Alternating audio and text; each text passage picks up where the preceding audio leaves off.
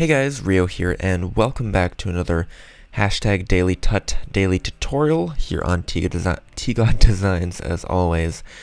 Um, today I'm going to be just doing a really quick one. Um, don't have a lot of time today, so I thought I'd uh, give you this little gem.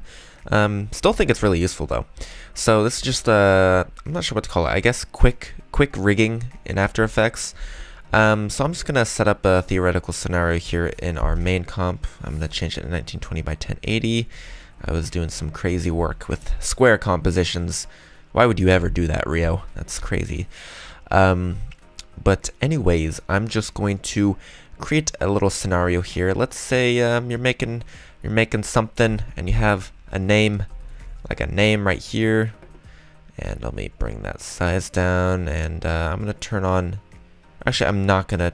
I'm gonna show transparency for for now, and I've um I'm of course gonna center center my anchor point and center my text. Um, so let's say we have some text, and I'm gonna throw in like a little background. Uh, it's kind of uh, burgundy. Is that, that that's burgundy, right? I don't like it. I'm gonna change it real quick. Um, but basically, I'm just gonna set up a little test composition here uh, so I can show you uh, a little bit of quick rigging. And let me, I need at least one more element, so I'm just going to draw a rectangle, like right here, for no apparent reason, just because I can. And you guys are getting a quick look at some of the colors I'm using for my next intro, um, which is kind of cool, I guess. I don't know. Burgundy.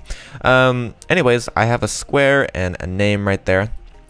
And let's say you wanted to give these guys both the same shadow, um, but you also wanted to make sure, like, let's say you had like a lot of squares. Like, I'm gonna duplicate all these guys. Like, you had a lot of squares. Maybe you had like two names for some reason, um, and you just you have all these, and you want to apply a drop shadow to all of these and have it be the same drop shadow, but you don't want to have to pre-comp them and then apply the shadow to the pre-comp. You want each one to have its own shadow. Uh, theoretical, but uh, you'll see where I'm going with this in a second. So I'm going to create a new null object here uh, by right-clicking, going to new, and then null object.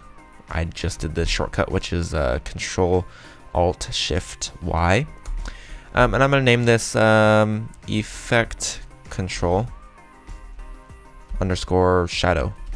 Something like that. The name doesn't really matter. That's just my preferred naming scheme, I guess.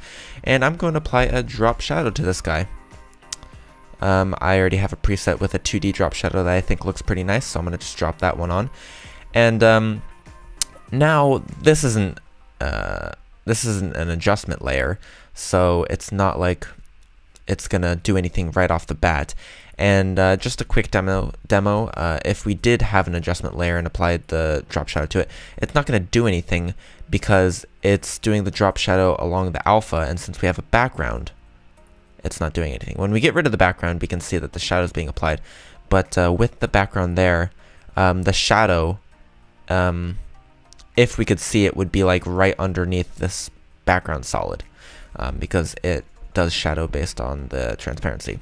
So we can't just simply put an adjustment layer, and that's why I'm getting to this rigging um, example right here. So we have a null with our 2D drop shadow, and I'm going to click out of everything because sometimes it does just one property. So I'm going to click out of everything, make sure none of my effects, none of my effects right here are selected. So I'm going to click out right there and I'm going to make sure none of my layers are selected. All right, now everything's deselected. I'm going to click on the main name of the effect I want to apply to all of all of the, I guess, receiving layers that I want to give the drop shadow and I'm going to click on edit and copy with relative property links. Now all I have to do is click on all the stuff that I want to receive the drop shadow and paste it.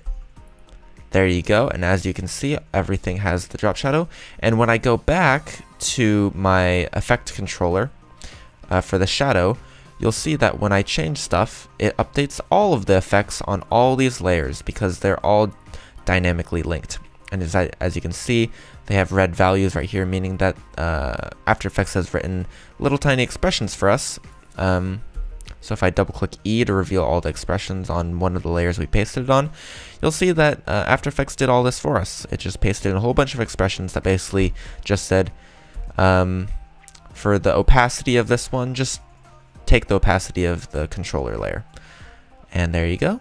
Um, it's really simple and that's all that needs to be done. And now you can tweak to your heart's desire and say you send it to your client and they say, oh, I think the drop shadow needs to be uh, more prominent. All I have to do is jack it up. That looks horrible. Um, and everything follows suit. So that way you don't have to go through uh, 10 or so layers adjusting it by hand. So just a small thing that saves a little bit of time. Um, I use it quite frequently uh, for a lot of different things, and you'll find that it'll be useful for random stuff that you never would have even thought of. So that's just a quick, quick tutorial. Hopefully you guys enjoyed this quick tip. Um, I'm not sure if you guys like the longer ones or if you like the shorter ones. Let me know uh, what you prefer. I, I think it's a good balance. Uh, I don't want to make every day like a 20, 30 minute tutorial. That's a little bit draining, but um, there's a lot of uh, little gems like this that I think are really helpful. But that's pretty much that. Thank you guys for watching. I will see you tomorrow for another hashtag daily tut. Leave your tutorial suggestions down in the comment sections below. You guys have been doing a great job of leaving suggestions, but I'm always down for some more. So go ahead and leave some if you want to know anything. It's a fair game for everyone. And uh, yeah, thank you guys for watching, and I'll see you tomorrow. Peace.